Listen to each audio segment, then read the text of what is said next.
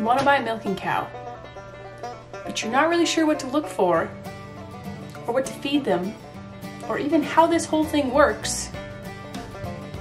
And I'm gonna, we're gonna talk about that today. All that.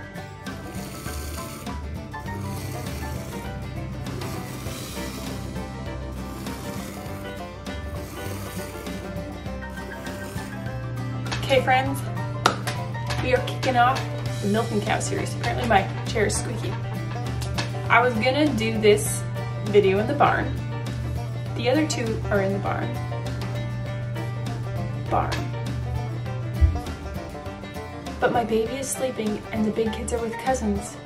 So I'm sitting here at my desk and we're gonna do the first part here. And that's just gonna be the way it's gonna go. We're gonna start off right away with cow breeds and kind of the basic logistics. So there is beef cow breeds and there is dairy cow breeds and there is dual purpose breeds. Milking a beef cow, you can milk any cow, but will you get decent production? Probably not. So we're not gonna talk about milking beef cows, although some people milk crosses that's possible too. The most common dairy breeds are Holstein and Jersey cow. Then you get Guernsey, Ayrshire, Ayrshire. I've obviously never seen one. Um, our cows cross with the Montabiliard, which is another milking breed that's uncommon. There's a decent amount of milking breeds, but for the most part, if you're looking at a milking cow, you're probably looking at a Jersey, Holstein, or a Guernsey. There's milking shorthorn, there's all sorts of breeds. We're not gonna get into all the breeds today, we're just going to get into Jersey, Guernsey, Holstein. There's a song called Cows Around by Corb Lund, I'm gonna link it below. In the song he goes, Jersey, Guernsey, Jersey, Guernsey, Holstein, hey! So that's every time I say Jersey, Guernsey, Holstein, Guernsey, Holstein, I think, hey. Okay. Holsteins are the most common milk cow. They are high producing, but they don't have a lot of fat. Their cream line is not amazing. So lots of people have Holsteins for a family milk cow, but if you're really wanting to make your own butter and cheese, you're probably gonna be looking at a Jersey or a Guernsey. Where I live, Guernseys are basically non-existent. Jerseys are way more available.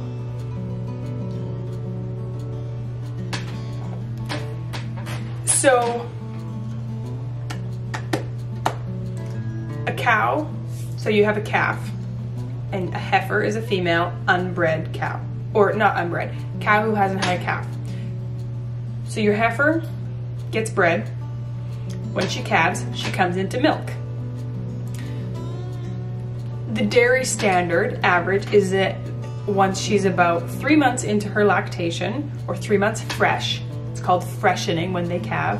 When does a cow freshen? Or calve, but freshening is to do with milk cows mostly. Three months in is when they're gonna start cycling again on average, and you're gonna breed them back via bull or artificial insemination, and then they're gonna calve again a year later. So two months before they're due to calve, you dry them up. You have your two month dry period. There's differences in opinion. Um, big dairy farms are like making that really small, but two months is a standard decent dry period. Then your cow calves, she freshens and you go back in the cycle. Dairy bulls are the meanest bulls there are. Marius always says that the reason there is no dairy bulls in a rodeo is because they don't just want to buck that person off, they also want to kill them. Most dairy farmers don't have a bull because of this. Dairy bulls are notoriously mean. Where we live, most of the dairy farmers who are Holstein farmers don't have dairy bulls at all. They do AI. But we have one Jersey dairy farm and they keep bulls and he buys bulls from this one farmer Apparently it's this woman that raises bulls and she just raises the best bulls. Respectful, easy to handle, chill bulls. We're actually gonna be bringing one of them here soon, potentially, if Annabelle didn't take what we brought. We brought her to their farm in November and she's getting preg checked January 14th. So maybe you, maybe it's already been January 14th. Maybe it isn't January 14th. I don't know when this video is gonna be posted. But January 14th, she's getting preg checked. If she's not took, if she's open, meaning not bred, she's, we're gonna bring the bull back because she will be going into heat the next week, will be the projected heat. So a cow cycle is 21 days long and they go into heat on day 21 or day one, depending on, or estrus. The period of time in which a cow can take to be bred is 18 hours. I know, right?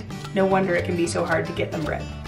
There is um, a shot that you can give them. I think it's called Lutalyse. And if you roughly know when their cycle is, in the second half of their cycle, you can give them a shot of Lutalyse. It speeds up the formation of the egg, drops the eggs three days after you give Lutalyse, so you know you give Lutalyse, three days later, you can AI them. That 18 hours is called standing heat. In standing heat, it's called this because a cow will be will stand to be mounted.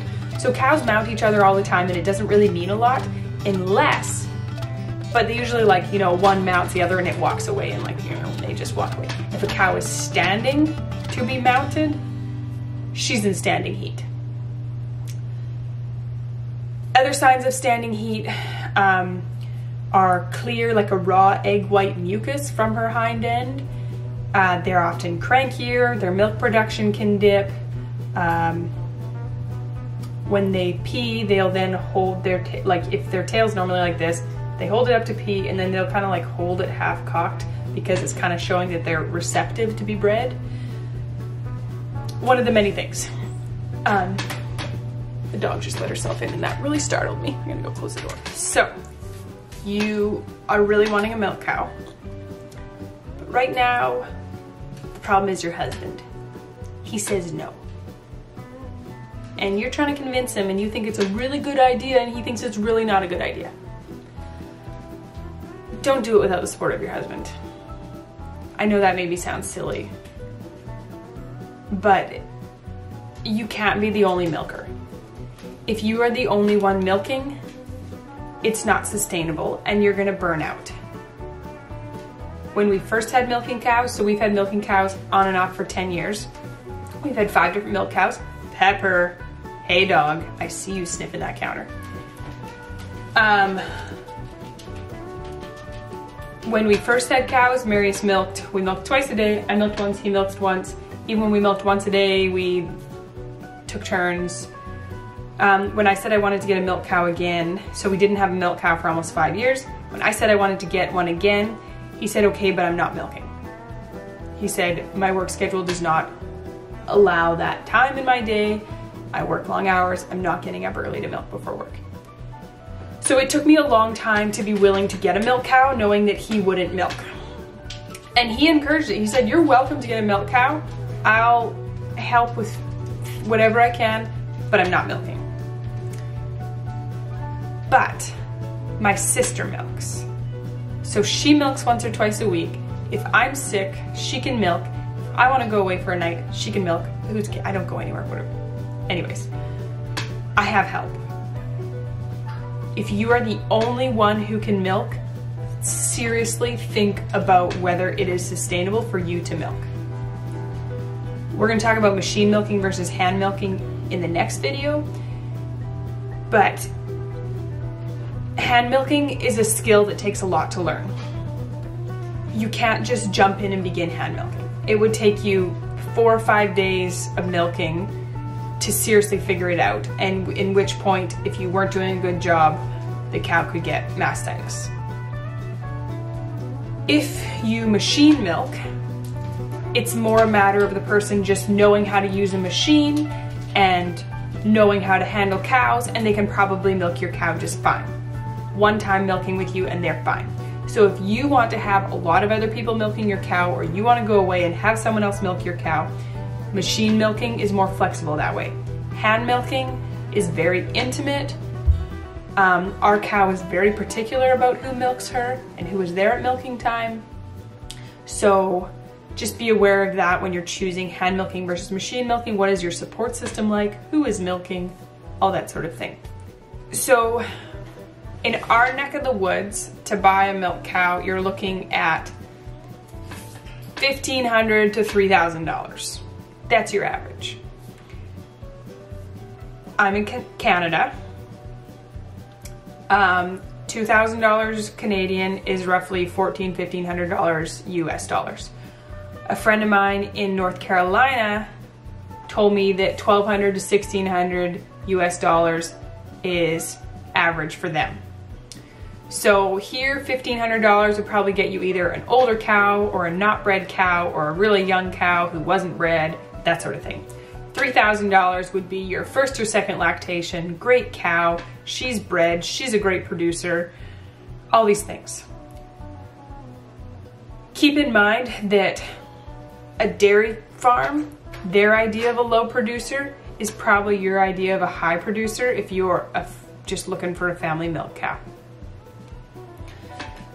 other than buying the cow, what do you have for shelter? Do you need to build a shelter? You don't need anything fancy. You do need somewhere kind of dry and out of the wind and rain and snow and all that to milk. That is a very nice thing. You don't need a fancy barn. That's not necessary. How are you going to water this cow? That is another important thing. Do you live where it's winter? What are your logistics for watering in winter? What about hay? Is hay expensive where you live? Is hay, um, like, is it easy to come by? Or are you gonna have to really struggle to find good hay? Or do you even have to feed very much hay? I have friends in Texas who count on like one or two months a year of feeding hay. We count on 200 days a year of feeding hay. That's a lot of days of feeding hay. If you want to buy a milking, milking machine, you're looking at about a $1,000. For me, all I needed was a new bucket. $50, I bought a new stainless steel bucket. So depending on what you need to build and all that is where your expenses are going to be. Now, the day has come when you get to shop for a cow. You have been looking forward to this day you get to go shop cow shopping and I bet you you've already been browsing ads. You've been looking on Kijiji, you've been shopping those classifieds, you've been keeping your eye out. Now's the time to get serious. What do you need to look for? Okay. I don't buy heifers.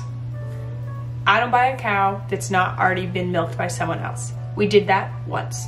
She broke my husband's hand. We're not willing to do that again we buy cows that have already been milked by someone else.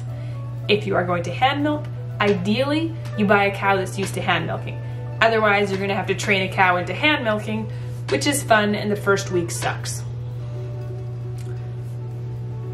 Actually, a friend of mine just bought a milk cow from a dairy farm and she had like maybe a day or two of not fun and the cow was fine. So it depends. In our experience, the two cows we had bought from dairy farms, the first week or so going from machine milking to hand milking, rough, but then it's fine. You're gonna wanna look for things like, so for me, I want a cow that's already had a calf before and she's already been milked. I want a cow that's bred and is confirmed bred by a vet or a test. Do not just trust, oh, we put them in a bull with a bull, we're pretty sure they're bred. You're counting on this once you bring that cow home, if you don't have access to bulls and AI, it's a lot more difficult for you to get that cow bred. You want that cow confirmed bred by a vet or a pregnancy test, like a blood test or a milk test. You want to see proof this cow is bred. I say this because I bought a cow from a dairy. Oh yeah, she's bred, we AI'd her and she never went back into heat. You're cool. Seven months later, I look at her, I'm like, you know, you're really not getting very fat. Maybe it was five, six months later. Either way, I was like, you're really not getting very fat, cow. So I got a vet out for pregnancy tests. He's like, she's not pregnant. She has cysts on her ovaries and that is stopping her from cycling. So You had to deal with those cysts, which wasn't a super big deal, and then get her bred. So, make sure they're bred. I actually, if this is the first time you're ever having a milking cow, it's almost easier for you to get a cow that is currently being milked and near the end of her lactation and bred because she's gonna be producing less milk and that is easier for you to learn on. You're not gonna drown in milk quite so much. When my cow freshened, she was giving six gallons a day of milk. Right now we're getting two and a half to three gallons a day. Six gallons a day of milk, you lose your mind many days trying to figure out what to do with all the milk. In Canada, it is illegal to sell raw milk for human consumption or any consumption really. You cannot sell milk, there is no legal way. Unless you own the cow, you can't get raw milk. So we own our cow. My sister owns a portion of our cow and my sister-in-law owns a portion of our cow. My sister milks and takes the milk. My sister-in-law helps us with other things to do with the cow and she takes milk because her baby has formula made from the milk, just like our baby Rowan does. Other things you want to look for is the health history. Does this cow have a history of mastitis? If a cow has a history of mastitis or milk fever, which is milk fever is something they get right after they freshen and it's that big drastic draw of calcium kills them basically. It can kill. They'll go down and they won't want to get back up and you have to give them an IV of calcium. You can often have to give them antibiotics and it's blah, blah, blah, blah, blah. And once they've had milk fever, if they are prone to it, they are forever prone to it. Jerseys are more known for being prone to milk fever, um, which is why people end up doing crosses quite often. Um, it's one of those things. What does her udder look like? Eh, are you wanting to hand milk? Make sure you they don't got itty bitty titties because you can. So many cows are being bred for shorter and shorter teats because they're cleaner and easier for the milking machine. If you are planning to machine milk forever and ever, amen, that doesn't matter so much. If you're wanting to hand milk, the teat size is important. Look at your hands. What is comfortable? Our cow has amazingly large teats. We've milked some cows that the back one, you're like, like you end up milking like two or three fingers. Your fingers are like you're having a cup of tea. Look at the teats. Is her udder super saggy? That's not great either. That's more prone to udder injuries. Um, does she have a nice straight back or does she have a real sway back? Keep in mind dairy breeds always look on the skinnier side, but I'm not gonna get into a whole thing to do with body condition. There's some things like seeing their ribs is normal but then there's other parts that shouldn't be skinny and all these different things. You just need to give yourself a little Google and look at that. Production dairy cows are not meant to live a really long time. Um, so many of them are bred for just production and they're fed for production and they're just like doom, doom, doom, doom until they just have a jammer from production, from just being pushed so hard. So how old are you willing to go in a cow? Like for me, like my cow is five or six years old and that's about as old as I would go buying a cow. We bought her last year. She'd had three calves and she came, she had just had her third calf. So that's like a reasonable, for me, you don't want a super old cow unless you're getting her for like a steal. I mean, there's that whole thing that like, okay, she's old, like your, your goal is to get a replacement out of her. How many chances are you gonna have to get a heifer out of her? And if I got a heifer out of her, that heifer is not gonna be milked until two years from now. So if I get a heifer out of her and then it's gonna be two years before I can milk that heifer, um, and then is she still gonna be milking then or am I gonna have a big gap? When, you know, like look at those sort of things as far as the longevity of milking a cow. You have finally bought your cow and she's ready to come home and you are over the moon. Your first week is going to make you pull your hair out. You're gonna wonder why you ever thought this was a good idea. If it's me who convinced you to get a milk cow, you will be taking my name in vain. The first week, five days especially, is going to be all consuming milking a cow, taking care of this cow, dealing with milk, figuring this whole thing out. Clear your week. Make sure you don't have a super busy week the week you bring home your cow. Otherwise, you're just gonna wanna crawl into a hole. The, the realities of a 100% grass fed cow are not great. First of all, 200 days a year we have to feed hay. Hay does not have the same nutrition for them to produce in the same way. Grass produces way more milk than hay does. There's also lots of cows are simply not bred to produce without grain. They will continue producing, but it will be at their personal expense. They will get skinnier and skinnier and skinnier trying to keep up with producing milk. A little bit of grain can go a long way, and there's some people who are staunchly against feeding a cow grain.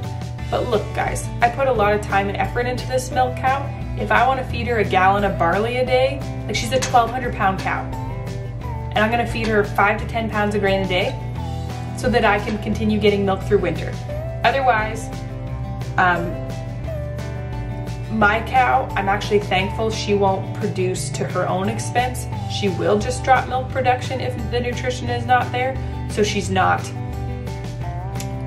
producing at a detriment to herself, which is nice because when I lower grain, she will just lower production. She won't just keep producing more and more, lots, but then get skinnier and skinnier.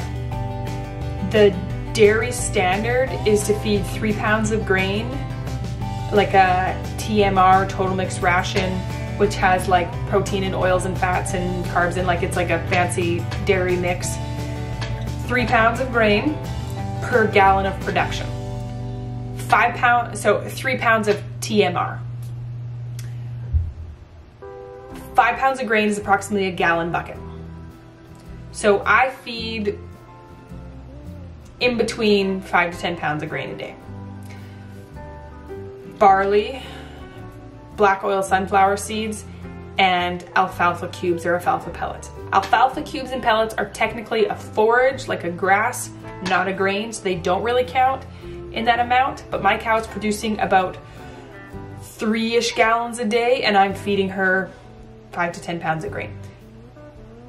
I'm wanting her to gain some weight right now. If I was wanting her to up in production, I would be wanting to feed her protein soybeans, corn. Um, I'd be feeding her a dairy ration, like a high protein dairy ration, and that would be boosting her production. Protein for production. Carbs, like barley and oats, actually oats can kind of boost production too, so barley is a carb that goes more into their body and not into their milk production which is why I primarily feed barley. And then the alfalfa is also a protein, so that helps with milk production. And the black oil sunflower seeds is a protein and a fat, and that helps with overall condition and milk production and that. But my goal is not higher production, my goal is great body condition. There's a lot of mixed opinions on what you should feed depending on where you live regionally. There's all sorts of different things like cotton meal. There's like some byproduct there that doesn't grow here. Um, there's all sorts of different things that people feed. I don't really love feeding corn. Um, I don't have access to an organic dairy ration. Where we used to live, I could just buy an organic dairy ration. It was a no-brainer to me. I would just feed that. That's not available here. I don't really like the other ration. A dairy ration is like a Tex, like a sweet feed. It's like pellets and flaked grains covered in molasses. She loves it, but it's a, full of genetically modified things and it's not my ideal thing.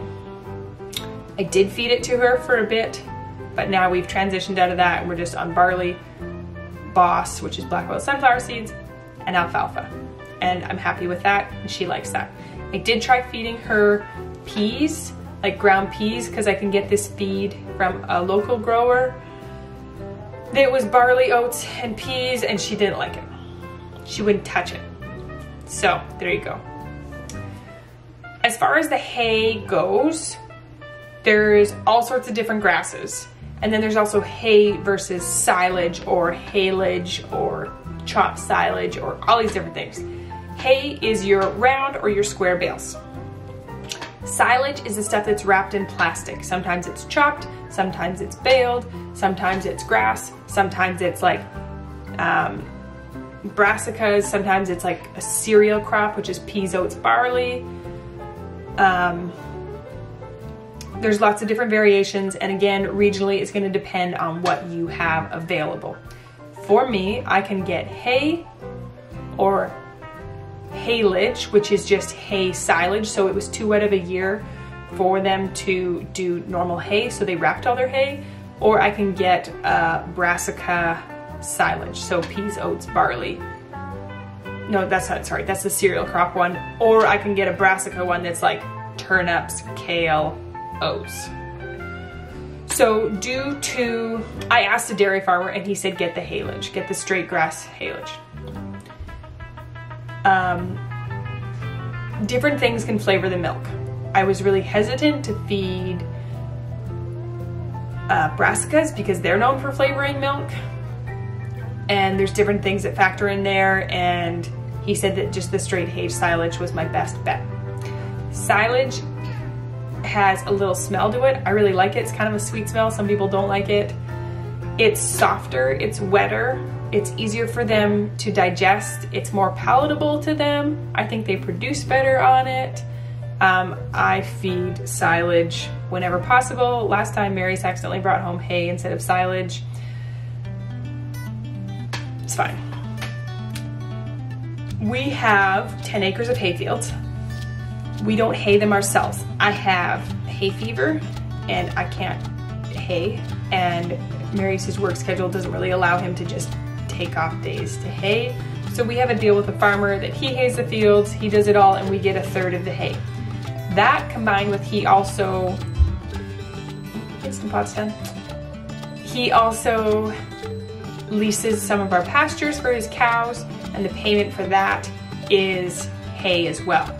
So I was able to get all my hay for the year for my milk cow and my two calves just out of what he owed us and that was awesome.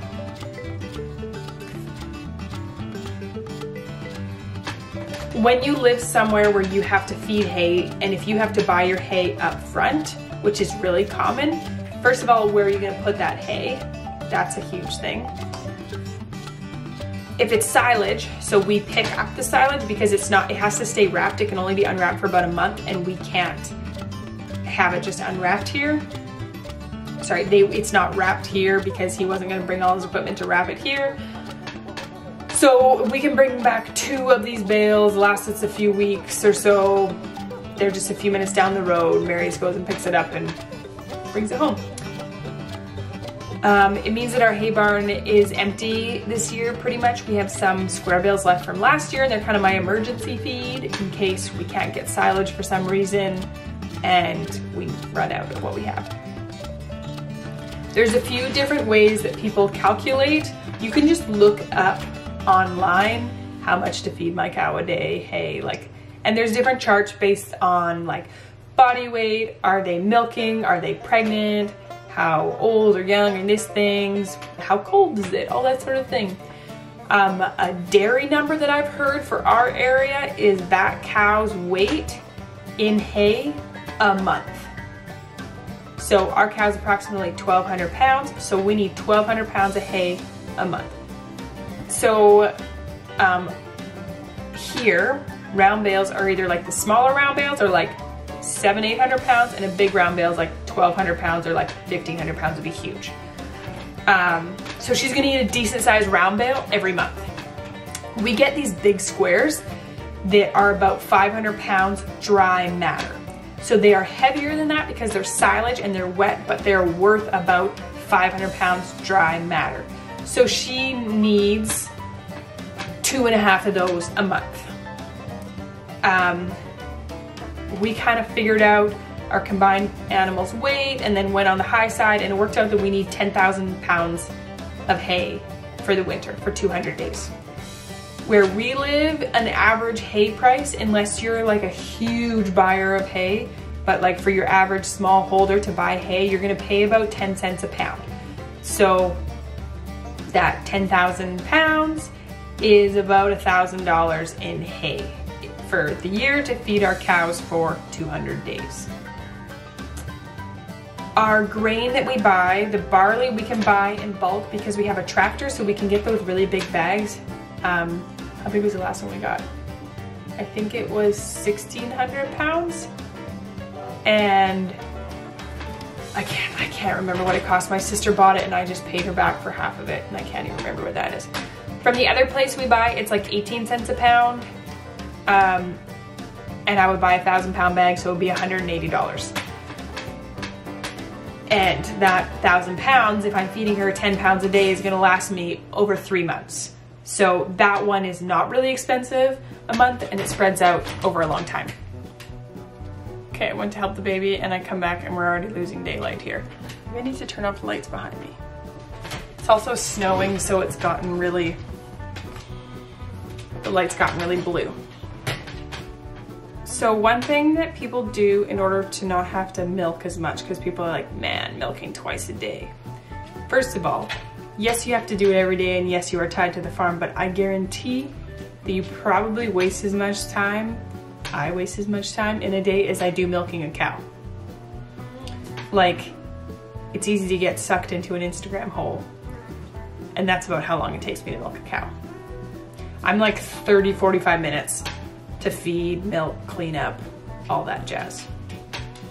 So right now I only do it once a day. So a common thing is that you calf share. You separate the calf at night, it stays in a pen. You milk the cow in the morning and then the cow and calf are together all day and then you separate at night, milk in the morning, together all day. This works for a lot of people, this did not work for us. Uh, the cow just held back her milk. Cows have the amazing ability to hold back milk. And even if they don't hold back all the milk, the last milk to come out is the creamiest milk and they'll hold back that cream and then you don't get the cream. And if you're in it for the cream, the butter, the cheese, it's very disappointing. So we've tried calf sharing with two cows. Both times it blew up in our face. We tried for two months with this cow before we pulled the calf. And then we, we ended up, and her letdown was so bad, but her calf was so big that we could know, we had to, she wouldn't let down for us. We had to keep the calf separate. And twice a day at milking time, the calf would nurse one side, we would milk the other side. And it worked until the calf got too big. And then it was a pain in our butt because the calf would be bunting that cow all over the place and we're trying to milk and it didn't work. So we pulled that calf and that calf got bottle fed and we got a new calf and we got like a little all Jersey bull calf because he would stay small for a long time. So we were able to use him. He was our letdown tool basically. And he nursed one side, I milked the other side. And, and then when he was 10 weeks old, I weaned down to one day, one time a day milking, which is a really common thing to do. And then he nursed until he was four months old. And that was just a few weeks ago, a couple weeks ago. And now I just milk once a day. The calves are all set, both of them are separate. Next milk cow we get, we will be, or next time this cow freshens, we will just be milking and bottle feeding the calf. We are not calf sharing. It does not work for us um, when they hold back their milk, it's just so frustrating and you can end up with mastitis and it's just not fun. Not fun. If calf sharing works for you, more power to you. I'm jealous. Didn't work for us. There's a lot of differences in opinion on once a day milking and when you can go down to once a day milking and how you go down to once a day milking. When I went down to once a day milking with this cow, I just dropped a milking. I didn't feel like her production was high enough that it would matter. It didn't matter. It worked out fine. She went down a little bit in milk when we went to once a day milking, which is common, but we weren't really feeding her much grain then. We were only feeding her a couple pounds of grain. So we upped how much milk, how much grain we were giving her, and we made back the milk production and we were just fine. We're getting two and a half to three gallons a day right now. Another important factor in cow health is giving them minerals. There's a good chance where you live, your feed store, you can get some sort of loose minerals, range minerals, cow minerals, something that's formulated for your area and what your area tends to lack. And you just give them free choice on these minerals. You just leave it out. For us, we have it in a small box that's nailed to the wall in the barn and she can just help herself when she wants it and it just keeps their mineral levels and sometimes they eat a bunch and sometimes they barely eat any. So if you're wanting to get a milk cow because it's gonna save you money, stop right there and buy milk from the store. It's not gonna save you money. It takes a long time for it to save you money. But for us, multiple family members in our household can't really eat, including me, store-bought dairy, pasteurized dairy. It doesn't agree with us. Um, I feel really gross. I get so congested and I, I headaches and I just feel really gross if I eat pasteurized dairy. And I can eat all the raw dairy I want and breathe so clean and clear. The big push on why we got a milk cow when we did this year was because the baby. We needed milk for the baby. And the only way to have our own supply and to have a supply because of the laws where we live was to buy a milk cow. So we got a milk cow. So with our cow giving us three gallons of milk a day, people go, how do you go through that much milk? We barely go through a gallon of milk a week or two gallons of milk a week.